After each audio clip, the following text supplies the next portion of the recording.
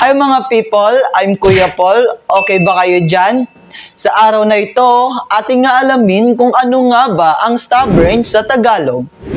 At bago tayo magpatuloy, huwag kalimutang mag-subscribe sa ating channel at kung gusto nyo pa ng maraming English to Tagalog and Tagalog to English translation, visit englishtutorhub.com and proudpinoy.ph.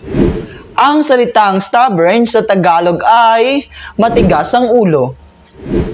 Ang kahulugan ng matigas ang ulo ay hindi sumusunod sa mga utos at hindi nakikinig.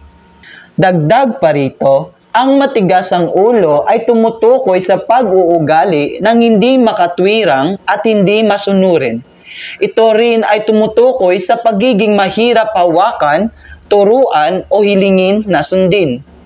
At ngayon, ako ay magbibigay ng pangungusap gamit ang salitang stubborn at ito ay aking isasalin sa Tagalog. Okay ba yon mga people? Okay. Jake is really stubborn. He doesn't listen to my advice. In Tagalog, matigas talaga ang ulo ni Jake. Hindi siya nakikinig sa mga payo ko. At ngayon, alam mo na ang salitang stubborn sa Tagalog.